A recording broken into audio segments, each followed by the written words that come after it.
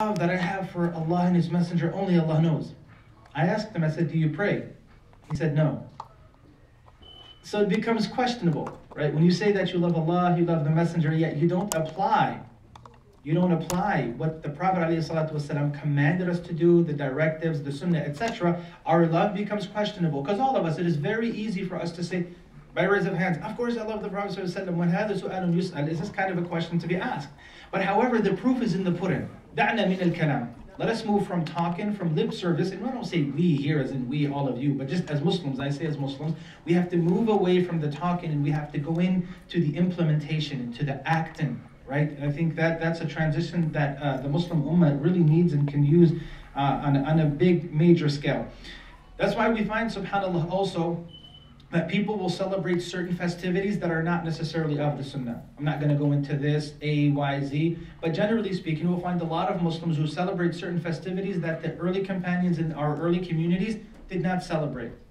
Yet you'll find people, they want to show their love, they want to show their admiration or their respect that they have for the Prophet in other ways other than what the Sunnah clearly describes for us. Sometimes you don't really have to ask someone if he loves someone or if he's infatuated by someone or with someone. That's why when you ask a lot of our youth today, if you ask them, do they love basketball? Sometimes you don't really have to ask him or her, or let's say him just for now, you don't have to ask a lot of our youth if they really love basketball. Do you know why? Because a lot of times the jerseys that they wear indicates that they love basketball. Their stats oh wow, the Pacers won today. Wow, did you see Kevin Garnett? Well, Kevin Garnett's kind of old school, right? Uh, who's out there now? Uh, who's the Steph Steph Curry? That's that's the guy right now, right? Steph Curry, that's the main man right now. Man, did you see all those assists? Did you see how he handled that ball? That's the best dribbler ever. Yada yada. When they're talking about basketball, they're playing basketball. They're wearing basketball jerseys. You get an idea that okay, this person loves basketball. You don't have to tell me with your mouth that you love basketball. I can see it written all over you. You talk about basketball, you play basketball, you wake up basketball, you, are playing basketball in the video game, you're watching basketball. Oh, I, brother, I can't talk to you right now. Why? Oh, there's this video, there's this game that's going to start at 8 o'clock. It's the playoffs. So this person doesn't have to tell me per se that they love basketball. I can see it written all over them that they truly love basketball. And that's why Allah subhanahu wa ta'ala, He tells us in the Quran, He says, قُلْ إِن كُنْتُمْ تُحِبُّونَ اللَّهِ فَاتَّبِعُونِي if you truly love Allah, then to follow me. Now notice how the Prophet والسلام, he doesn't command us to worship him or to worship through him. If Allah doesn't say, "Well, in kuntum tuhibbun Allah fabtadi'u," He doesn't say if you truly love Allah, then innovate in the religion and find creative ways. No, Allah subhanahu wa ta'ala is asking us to implement and to follow the Prophet. Now there's a difference. A lot of times when we hear the word follower, people don't look up to followers, right? A lot of us, we like to think of ourselves as, I'm not a follower, I'm a leader. And even our parents, when they raise us, what do they always tell us? Be a leader in school. Sahwala jama'at. Your parents didn't tell you that? Let it be reciprocal I want uh, some exchange, right? Our parents taught us that, right? My, my, my mom always used to say that, be a leader, don't be a follower. But there's one place that for you to really be deemed a leader is first is you have to be a follower. When you're a follower of the Sunnah, that is how you will be deemed as a leader in the sight of Allah subhanahu wa ta'ala. So Allah is asking us not to invent the wheel, not to play around and think of creative ways of uh, obeying Allah or obeying the messenger or loving the messenger. The ways, the blueprint is there. So all we have to do is follow in the footsteps of, these blue, uh, of that blueprint. We find that I honestly, I get very, very emotional when I share these stories um, even subhanallah you think of how they our love for someone is is is by maybe listening to them by maybe you know being with them and wanting to be with them or to even speak highly of them and so forth. But the stories that i want to share with you here this afternoon it is far beyond what words can truly express. Yani the way they felt yani really when i mean the way they felt their, that emotional component that they had and they felt towards the Prophet wasallam is, is beyond what words can express. And I really mean this from the bottom, middle, and top of my heart. And sahih ta'bir. The Prophet wasallam, he narrates in a hadith that's narrated by Muslim in hadith Anas. He says, ثَلَاثٌ مَنْ كُنَّ فِيهِ وَجَدَ حَلَوَةَ الْإِيمَانِ Three things that if we are in or if we are a part of, we will find sweetness of faith. What, what does sweetness of faith mean? Subhanallah, how many of us in here enjoy our jobs? I, I know that's that's a question I'm not expecting too many answers. All right. What, what do you do? Um, This is my job. If it's not personal, I kind of figured. Yeah, I, right. I kind of figured. All right. May Allah subhanahu wa ta'ala grant you tawfiq, brother. Um, so subhanAllah, not a lot of us like our jobs, and that's definitely understandable. And there are certain people who enjoy their jobs, and that's a ni'mah from Allah as well. But alhamdulillah, we're employed, and that, that, that's a, a a giver. That's good. But subhanAllah, would you not agree that your, your experience in doing something that you like doing goes by, you, you, you find a joy in doing it? You, you, you cherish it, you like doing it, rather than doing something because you feel like you just have to do it? There's a great difference between the two. You have someone who's doing what he does. He's doing what he does because he's obviously expecting a check at the end of the week, but he's also doing it because he enjoys doing it. Versus someone who's doing it, expecting a check, but doesn't enjoy doing what he does. There's a difference in between the two.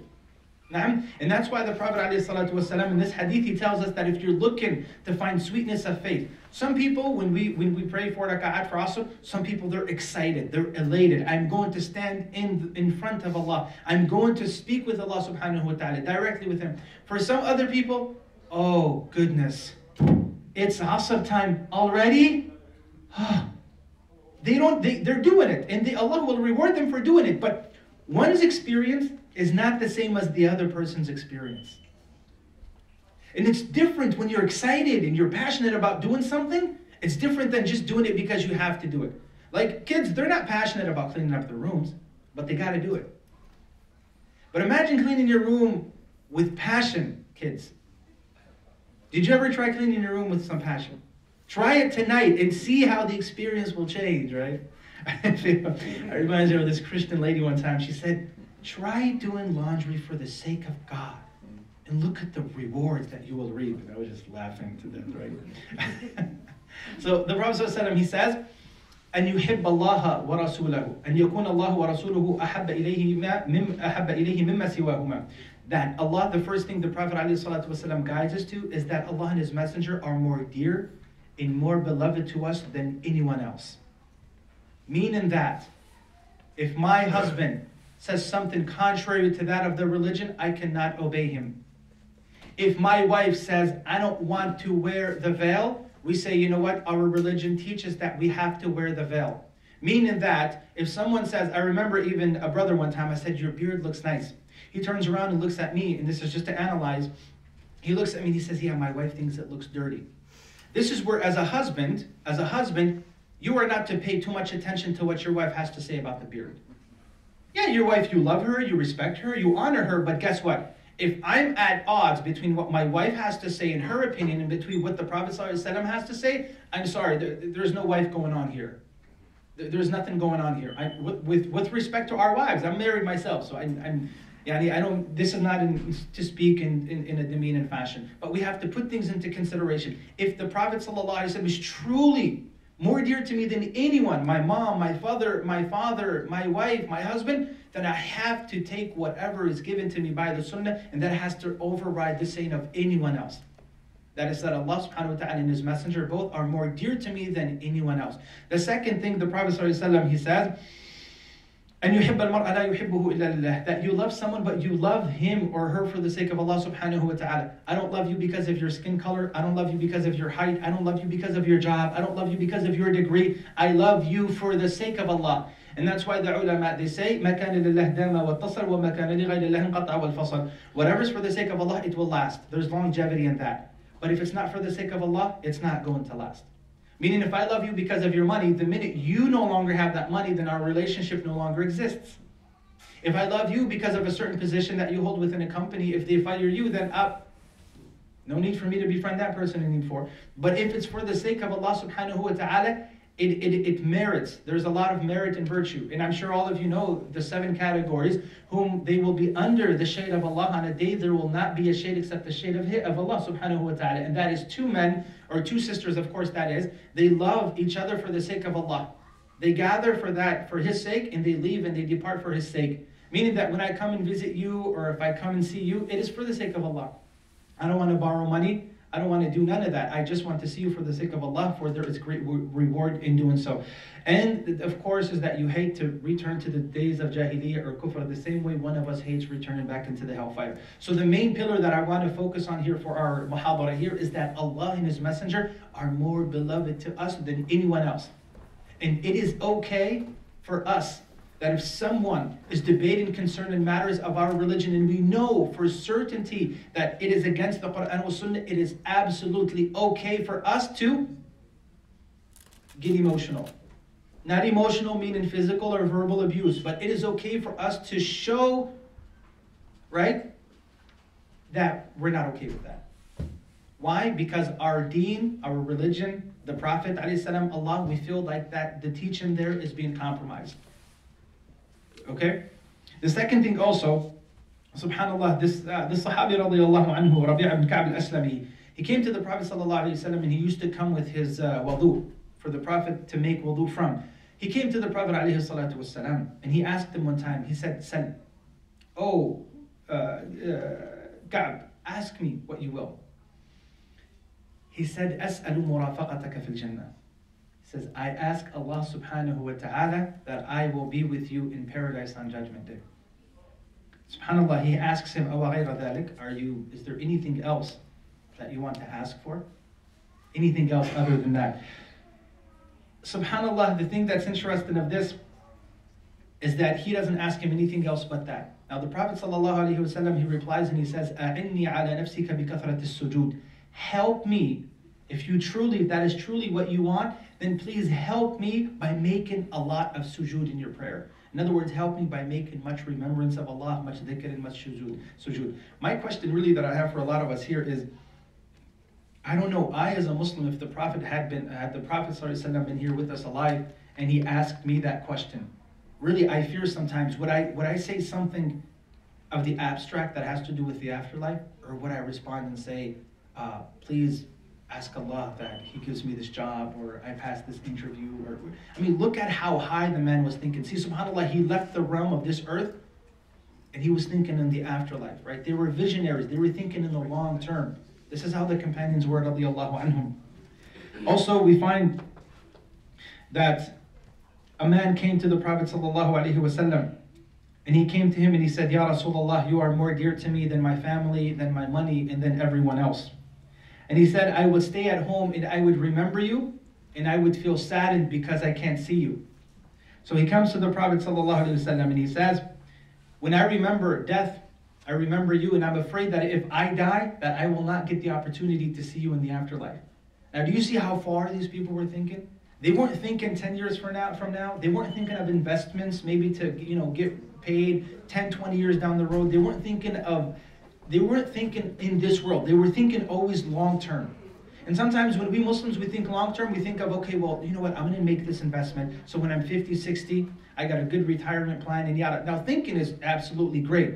We have to think ahead. But however, subhanAllah, things are to be understood and they are to be put in their context. So subhanAllah, he says, وَإِنِّي إِذَا دَخَلْتُ الْجَنَّةَ خَشِيتُ أَلَّا أَرَاكَ I'm afraid that if you go into paradise, I'm afraid that I will not, I will not see you. And for the Prophet ﷺ, he recited the verse of Allah subhanahu wa ta'ala where he says, أولئك الذين أنعم الله عليهم من النبيين والصديقين والشهداء والصالحين وحسن أولئك رفيقا that those they will be with the prophets of the righteous ones and the prophets أولئك الذين أنعم الله عليهم من النبيين والصديقين the righteous ones والشهداء and the martyrs and so forth so he was assuring him that المرء مع من يحب that the person will be resurrected with whom he loves that's why it's important for us to truly differentiate who are we loving in this dunya and who why do we love them?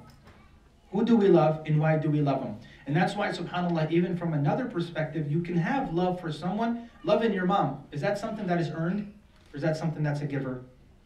We're born with it. It's an innate nature. It's in us to love our moms. It's in it to love our fathers, right? It is not something that we earn. Loving the wife, loving the husband, this is something that is earned. This is something that comes later on. But loving the Prophet ﷺ is also something that is earned.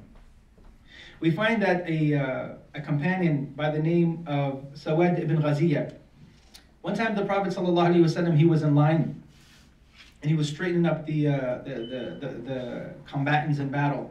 And subhanAllah, this companion, this companion was forward Everybody was in line except him. So the Prophet والسلام, he takes, he had a small stick in his hand, and the Prophet ﷺ gouged him in his stomach, playing around with him. Now, he says, Ya Rasulullah awjatani. Oh Prophet of Allah, you hurt my stomach, and I want to seek revenge. He says, You want to seek revenge? He says, Nah. For the Prophet ﷺ, he takes his shirt وسلم, and he shows him his stomach. Nah. And the companion now starts kissing the stomach of the Prophet ﷺ. So the Prophet asks him, "What Why did you do what you did? Why did you do it? He says, Ya Rasulullah, matara. O Prophet of Allah, you see what is happening. We're on the lines of battle and there is no assurance that I'm going to see you after this. So I wanted the last thing in this in this dunya is for my skin to touch your skin. Yani, subhanallah subhanallah, is all I can say. There was also a Sahabi radiallahu anhu. There was a Sahabi that Quraysh wanted to kill. When they grabbed him and they took him, before killing him and torturing him, they asked him a question. They said, Would you love that Prophet Muhammad is here in your place and that we kill him? Would you prefer that we kill you rather than kill, right? Would you rather us killing the Prophet in your place or, or would you want the opposite? He said, I don't want the Prophet wasallam wherever he is at right now, and that a thorn affects him. Meaning that no, I don't want him instead of me. This is how much yani, this is how much honor, how much love that they had for the Prophet wasallam. At the beginning stages of Islam, at the beginning stages of Islam, at the birth of Islam, if you will, when the Prophet ﷺ received a command from Allah so that he makes the da'wah clear to the people, no longer hiding it, no longer it being in seclusion. Abu Bakr radiallahu anhu, he heard that the Prophet ﷺ was being beaten by the disbelievers of Quraysh. Abu Bakr immediately upon hearing that, he hurdles to try to save the Prophet ﷺ. It was a man by the name of Uqba ibn Abi Mu'ayth. So as soon as he sees him, the, the uh, Abu Bakr is running towards the Prophet and he says, Are you guys killing a person just simply because he's saying, My Lord is Allah? So what do they do next is they leave the Prophet والسلام, to the side and all of them now gear their attention on Abu Bakr radiallahu anhu. Subhanallah, they hit him and they beat him so fiercely that the Rawi says, لا يعرف وجهه من أنفه. They say, the Rawi says that they could not differentiate his nose from his face. That's just how severely he was beaten. And the Rawi also says, لا يشك أحد في موته. No one, no one denies the fact that this person is dead. No one, yani, you could looking at the way he was, you cannot doubt that he's dead. So they took him. But the marvelous thing of this story, as soon as he woke up, because he was unconscious, he was knocked unconscious, as soon as he got home, the first thing he said when he woke up is, Huh? The first thing Abu Bakr said radiallahu anhu when he woke up is, How is the Prophet sallallahu alaihi wasallam doing? The man is not, he was on the verge of dying and he's asking, How is the Prophet sallallahu alaihi wasallam? What is he, what happened to him? What happened with him? Also, we find in another story, in another narration, that Umar ibn al-Khattab radiallahu anhu, he heard of a few men that were exalting him, praising him, in preferring him inevitably over Abu Bakr radiallahu anhu. Now the Sahaba being very just and fair with themselves and even with each other, Umar radiallahu anhu did not like that. So he gave a lecture in front of the people, he gave a small sermon. He said, I heard of people who are preferring me over Abu Bakr. He says, Wallahi, one night Abu, Abu Bakr, now this is subhanAllah, this is being just. He's saying one night of Abu Bakr is better than the whole family of Umar. Again, Abu Bakr, he's saying that Abu Bakr is better than me. This is Umar radiallahu anhu. And that's why there's a saying in Arabic that says, لا يعترف بالفضل لذوي الفضل إلا ذووه. It is only people of virtue who recognize virtuous qualities in virtuous people. It, and it really is. It takes vir- it's only virtuous people who recognize and acknowledge virtuous qualities in virtuous people. That's why, so if you feel that you know someone that has nothing good to say about anybody, know that that person has a problem. Some people, it's as if we can't see no good in nobody. No, there's good in everybody, inshallah ta'ala. He says that when the Prophet والسلام, when he migrated with Abu Bakr towards Mecca,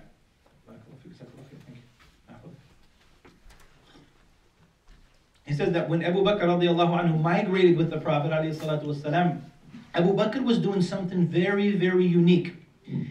After that, the Prophet noticed what Abu Bakr was doing. As they were on their way to Mecca, Abu Bakr at times would walk right in front of the Prophet ﷺ as he was riding on the camel or the horse, the camel. Abu Bakr, sometimes he'd stand in front, and then at other times he would change and get in the back. So Abu Bakr, after doing that one, two, three, four times, the Prophet asked him, Ya Abu Bakr, what are you doing? Why sometimes you stand in front of me and sometimes you get behind me? He says, Ya Rasulullah, I think of those who are chasing us and I want to get behind us, behind the caravan. And at times I think of those who are waiting for us, looking out for us to catch us, and I want to get in front of you. He said to him, he said, Ya Abu Bakr, أتريد لو كانت من ملمة أن تكون بك دوني? He says, Ya Abu Bakr, are you telling me that if something were to happen, you want it to affect you before affecting me?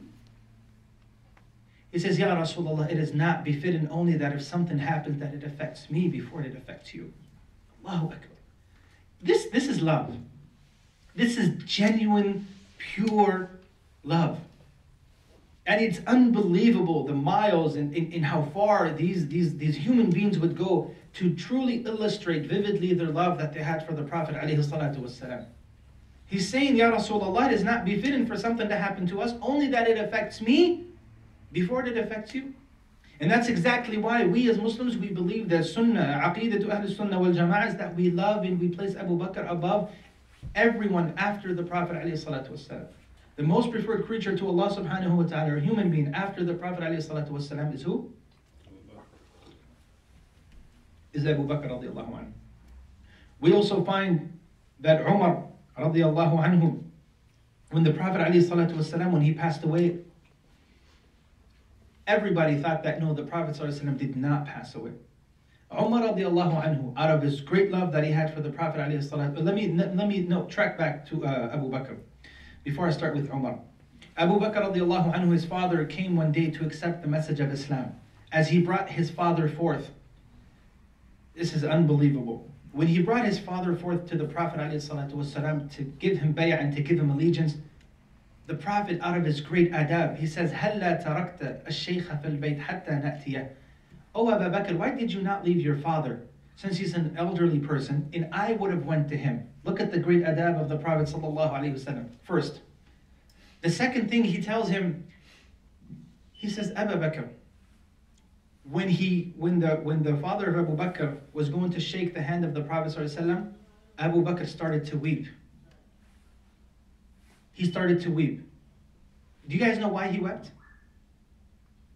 It's because they told him, they said, Ya Abu Bakr, malladhi yubkik, hada yawmu farha. Oh Abu Bakr, why are you crying? This is a day of rejoice. This is a, do- a, a, a, a day of joy and happiness. Why are you crying? He said something, subhanAllah. He says, وددت لو أن الذي يبايعك الآن عمك ولا أبي حتى يقر حتى تقر عينك. He said, I wished that the person that was giving you allegiance right now is your uncle and not my father. Because I know that would bring you much joy, O Prophet of Allah.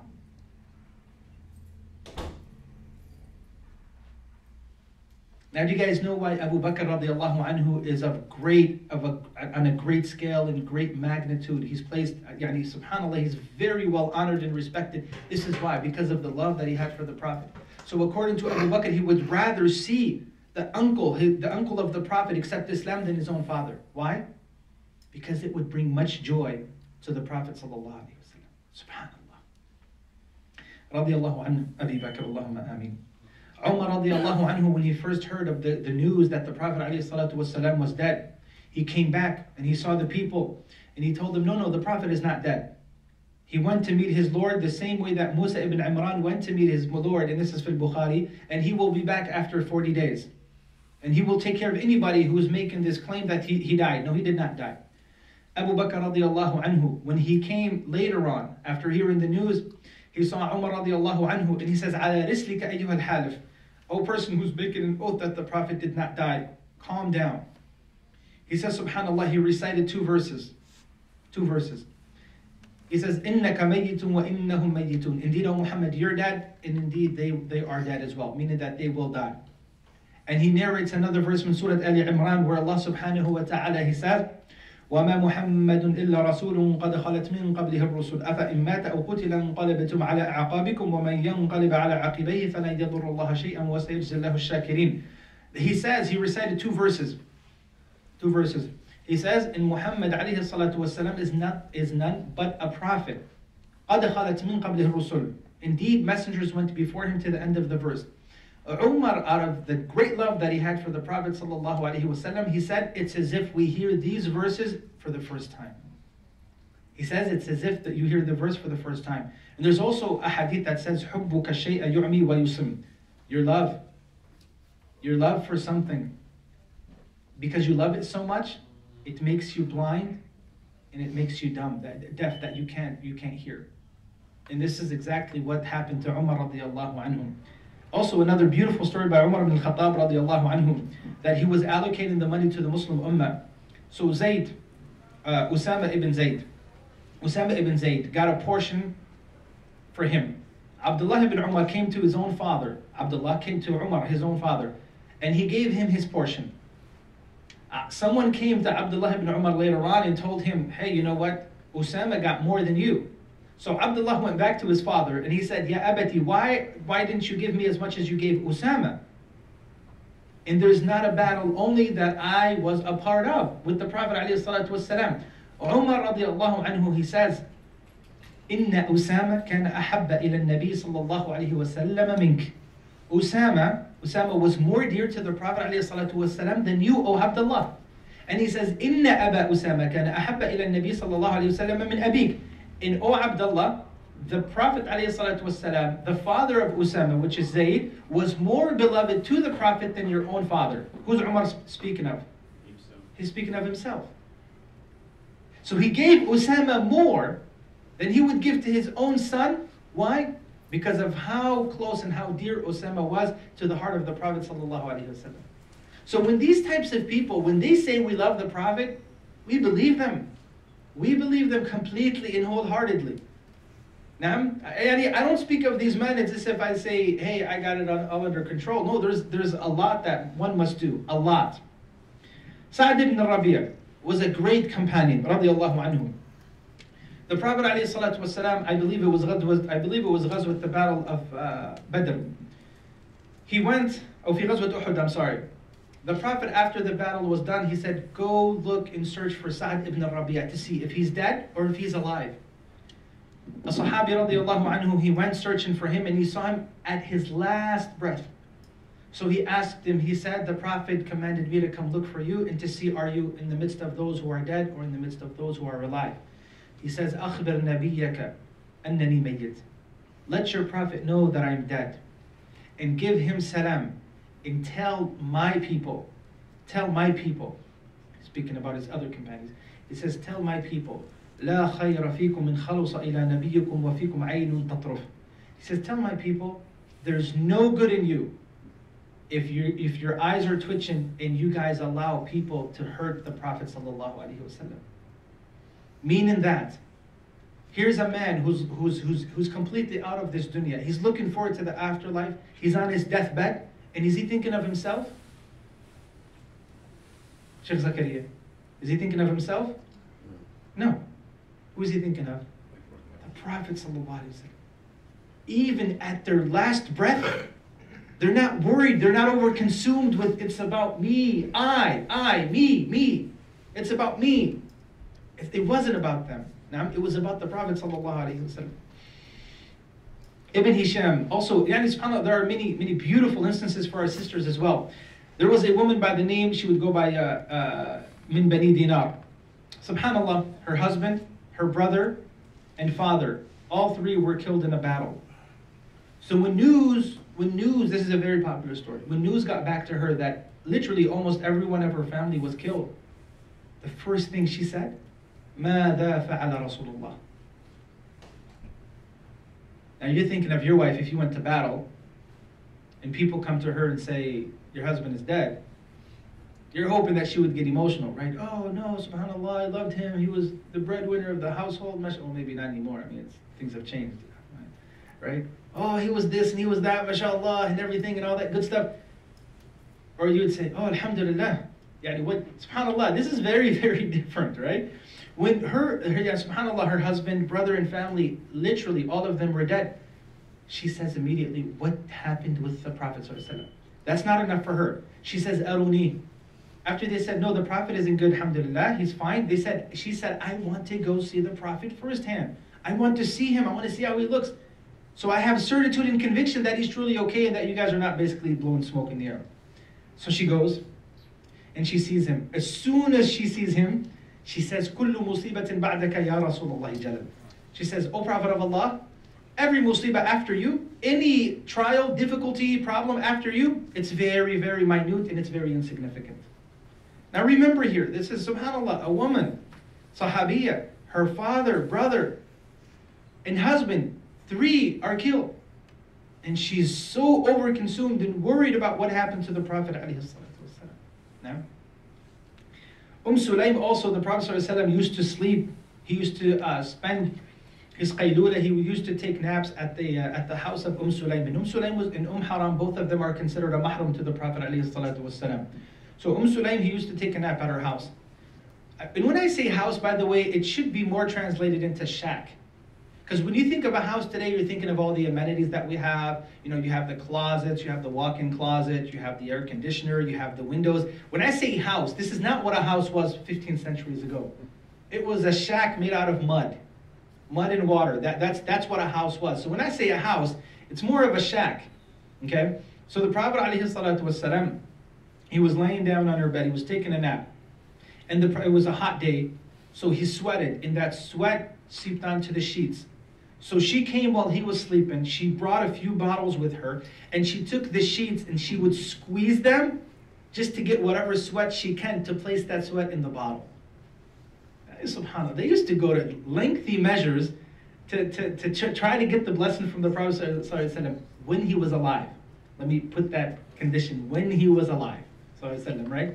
So the Prophet, when he woke up, he said, Ya Umm Sulaim, what are you doing? She said, Ya Rasulullah, I'm gathering your sweat I'm gathering your sweat, looking to have it as a barakah for our children. The Prophet says, Qad asabti. Good job, Umm Sulaim. Right? But this also is to only be done for the Prophet. We are not to find someone, yani, an imam or something of that sort, and we are to do this and say, oh, you know what, he's just like the Prophet, I'm going to do this and collect his sweat and so forth. Now, so I just want to make that uh, clear. Abdullah ibn Zubayr, Abdullah ibn Zubayr was very, very young. The Prophet ﷺ, he got a hijama one time. Anybody do hijama here in this local community? No? Okay. So he, so do we know all what a hijama is? No. no. Oh, okay, hijama is cupping.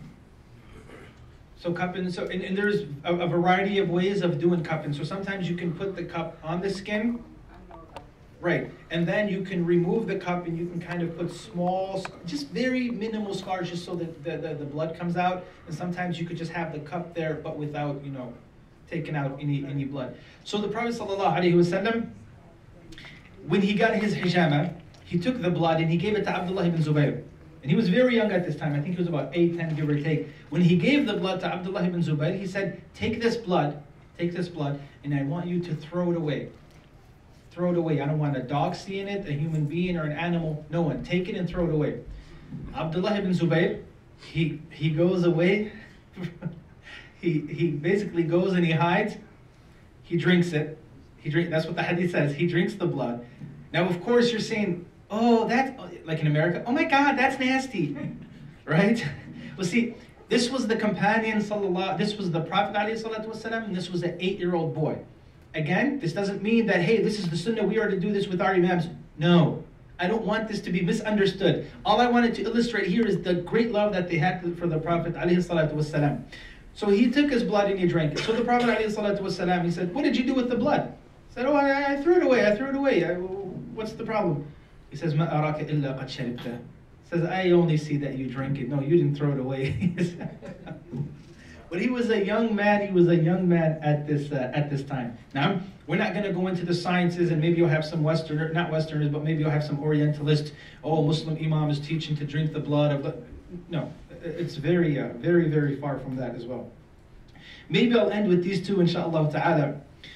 Budayl ibn Warqa was someone who came to negotiate and debate with the Prophet ﷺ. He was delegated from his people to talk with the Prophet ﷺ. So when he went to try to speak with the Prophet ﷺ, he could not help but notice how much honor, how much respect and reverence the companions had for the Prophet ﷺ. So when he saw them, he went back to his people. Budayl ibn Warqa went back to his people.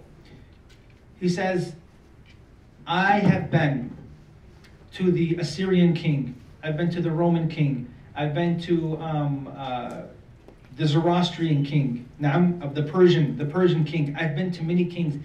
He says, but I, but I have never seen a king who is honored by his people the way these men here honor their prophet. He said that when the Prophet والسلام, when he's, he, this is him saying, this is a non-Muslim at that time. He said, when he speaks, everybody listens. It's as if there are, you know, birds on top of their heads. meaning that everybody's just quiet. Uh, like we'd say today in modern t- uh, terminology, you can hear a pin drop. Right? You guys heard that, I'm, I'm sure. And then he says that if the Prophet is making wudu, they would literally fight each other to get the drops of the wudu. When the Prophet is making wudu, they would literally fight one another just so they can get a few glimpses or a few of those drops from his wudu And he said that they will never look the Prophet والسلام, that they will never look the Prophet والسلام, directly in the eye. Now I know America here in the business, in the business world, they teach you firm handshake and look directly in the eye. That's the way of transparency. Our sunnah is, is the opposite. Look them in the eye, you know, let them know that you're you're fit for the job. You're the suitable candidate, right? That's at least what we're taught. But the sunnah is not that's not really the sunnah, right? puts people at, at unease at times. So subhanAllah, he was saying that these companions, the way they honor their prophet, I have yet to see someone honored as a king the way this man is honored. And he was talking about Prophet Muhammad والسلام, and he ends by saying, لَقَدْ عَرَضَ عَلَيْكُمْ خُطَّةَ رُشْدٍ فَقْبَلُوهَا He is providing for you and offering a great offer, so just take it.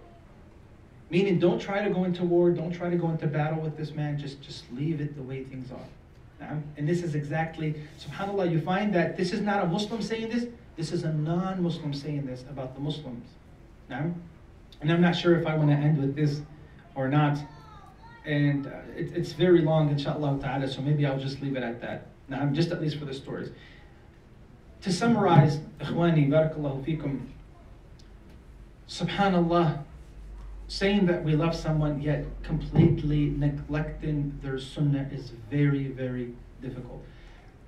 If a woman goes and she gets married and she's careless and negligent as to what her husband likes and what he wants, I would say that this woman doesn't truly love her husband. And of course, the same thing applies that if a man marries a woman and he doesn't care what his woman likes, what makes her mad, what makes her happy, I am going to question the love that he claims that he has for this woman. Because when we say, I love you, but we don't do what that person wants of us, are we going to be viewed as questionable or not? Our love is going to be questioned. If my wife told me she loved me and she doesn't do anything that I want from her, I'm going to question, like, look, look, do you really love me or you, you, you playing games? Real talk, right? Do you love me or are you just playing around here, right? The same thing with the husband. Your wife tells you, please bring me X, Y, Z. You never bring her what you You always bring her, no, no, this is better. Why? Because it's cheaper. I found it at the, discount store. I don't want this. You do this every time, though. Not once. Every time she tells you to bring X, Y, Z, you bring ABC. And you always got a perfect reason as to why ABC is better than X, Y, Z. There's a problem in that. Especially if she shows serious emotion. She says, I don't need that. Look, you do this. So the idea of us saying that we love and not following that with implementation, it's very, very, it's very, very difficult. And that's why the Prophet ﷺ, it was Abu Huraira one time, he walked into the market and he saw people buying and selling and yelling. And you know how the bazaars are. Hey, this is for one dinar. Oh, I got it for two and a half. And everybody's streaming and yelling. You know, well, they don't do it really in America more. And, and you've been to Egypt. It's nothing but yelling in Egypt. Everybody's yelling, right? I got the better peppers. No, come over here. That, that, that's from two days ago, and everybody's trying to, you know, Allah understand. Well, like the like the taxi driver said, he says, "Welcome to Egypt." Egypt with a B, right? Egypt. Anyways, so make a long story short, the Prophet he said, Abu Huraira said, when he walked into the suq, he said, All of you guys here are buying and selling and arguing. And the inheritance of the Prophet ﷺ is being divided now in his masjid. So everyone drops what they're doing and all of them run towards the Prophet's mosque. When they get there, they don't find people buying and selling and, okay, this is the armor of the Prophet. This is his sandal. This is his izar, right? This is his shirt. This is his hat. This is his coat. They, they didn't find that, but that's what they were expecting. So as soon as they walked into the masjid, they see someone teaching Quran, someone reading, someone learning, and so forth, right? So they said, they were, of course, appalled. They come back to Abu Hurairah. They say, laka ya Abu Hurairah. We didn't find nothing materialistically, of course, being, you know, bought and sold and given, and you get this portion, you get that portion. They said, we found people teaching, we found people learning Quran and so forth. He says, what? He says, ذَلِكَ مِيرَاثُ النُّبُوَّةِ That's the inheritance of prophets. But that's why we can all, we can all, if you really want to know how much you love the Prophet, ask yourself, how much of his ahadith do we memorize? Or do we know, or do we implement? And that's the other thing too, when we spend so much time, let's say, reading the novelty of Harry Potter. That's all about sihr and shirk, really. That's really what it is.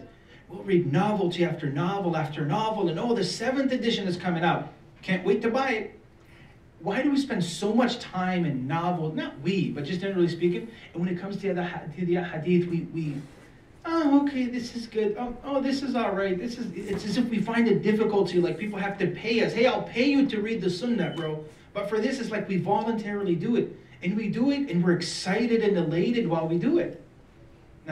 But loving the Prophet ﷺ is by sticking to his commandments.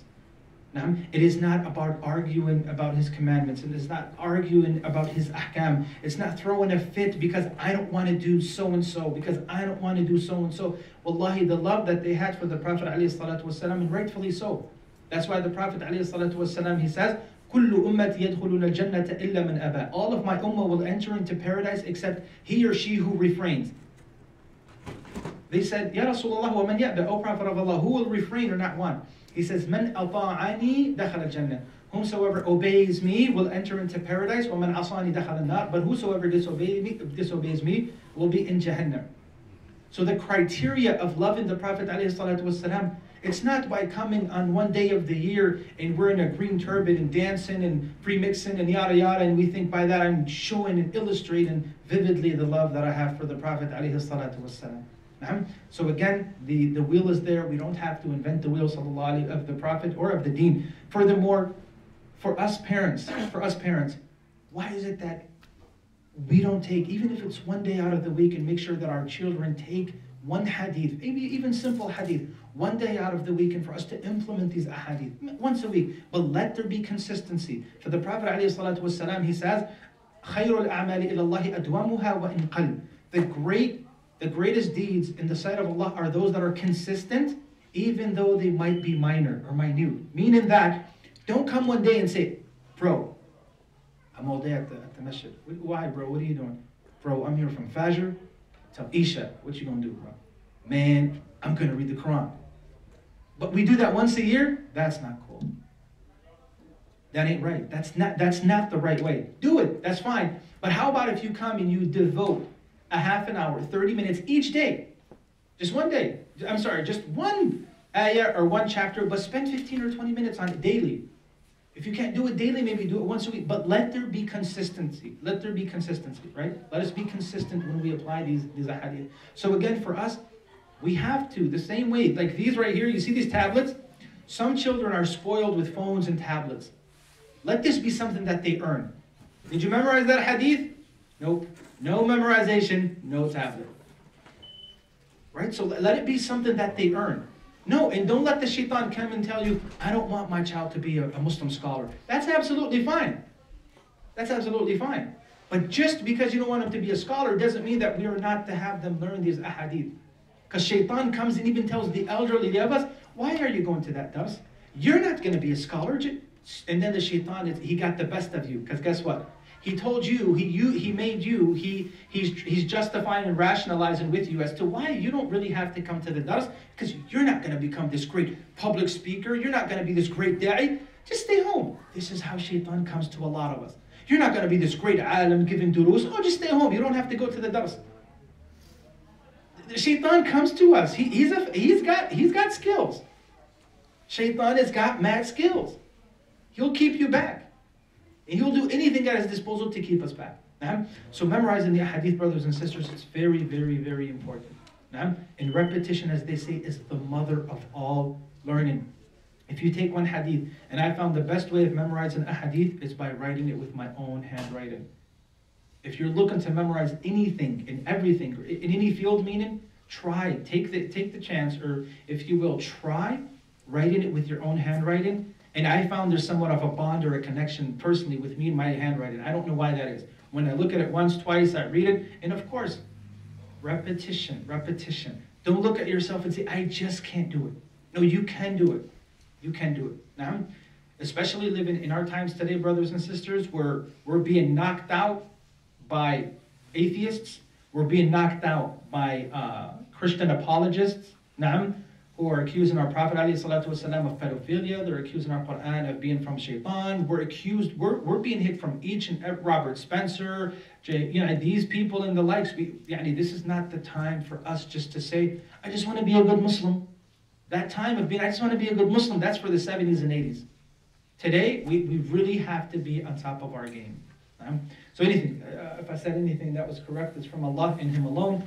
Anything that was incorrect is from Inni wa min shaitan. Inshallah, I'm not sure if there are any comments or suggestions or questions or inshallah. Um, would you find the, define the word sake for us? For the sake of? The word sake. You, you, you would be surprised at how many English speakers don't know the definition of this word. Even if you Google it, uh, the word come up sake, you know, the Japanese uh. Okay. A, a, lot of English people don't understand this word, so when you say for the sake of Allah, uh, they really don't have a complete understanding of what you really mean. Okay, you want to elaborate? Uh, yes, okay. opposed to if you say it in Arabic. You know, Yeah. You know. Okay. Um, the brother is saying to elaborate a bit more on the word for the sake of. Basically, it translates to to do it for the sake of. In other words, for this for Allah's sake, meaning for Allah. Sometimes you don't really have to do. For, you don't even have to use the word sake. Because fi sabilillah means that I'm doing it and I only want the pleasure of Allah subhanahu wa ta'ala in it. I'm not looking for compliments. I'm not looking for people to pat me on the back. I'm not looking for people to say, wow, what a great job. I'm doing it for Allah and for Allah alone. Meaning, I want to reap the reward from Allah subhanahu wa ta'ala, and I'm doing it out of sincerity for Allah. I'm doing it out of sincerity for Allah. Did you want to add something to that, or? Uh, not really, uh, but is, you know, um, I think that I, I guess this would be a whole whole another uh, you know dollars uh, to speak about. Sure. The uh, the, the difference in uh, the everyday people concept of love and the Islamic, the Dini concept of love, because we ha have different levels of affection for each other. Cause you make me laugh, cause you give me things, you know. I, you know, you my friend. This thing gives you things? He's my friend. well, I'm, I'm befriending the right people then. All right. You know, so so so we, we have different affections for different people because for different reasons. But when you talk about love, we we, we understand it, the instinctive love, you know, for my son, my mother, you know. But to try to convince us the love of, of the Rasulullah we have to understand our, our understanding of love, what love is. You know, as Muslims, you know, how are we going to love Allah and Rasulullah when we still have this, uh, I would say, doing your Protestant concept of love, of you know, I, I, you know, people love their car, you know, they, they, they really do. You know, they, they love doing your thing. But it, very here, if I may add, yeah. one one thing, one does not negate the other. I can love doing business, but it doesn't mean that I don't place the Prophet ﷺ beyond and above everyone else.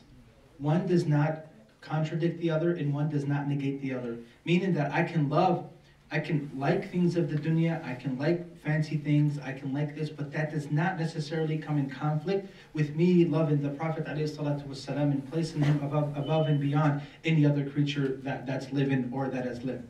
So one does not create, but then again, things have to be put into context, context right? The Prophet ﷺ, why my love, my love for him supersedes every other type of love for anyone else is because it is for he. He is the reason why I am saved, and not he, he's the reason why I will be guided to Jannah.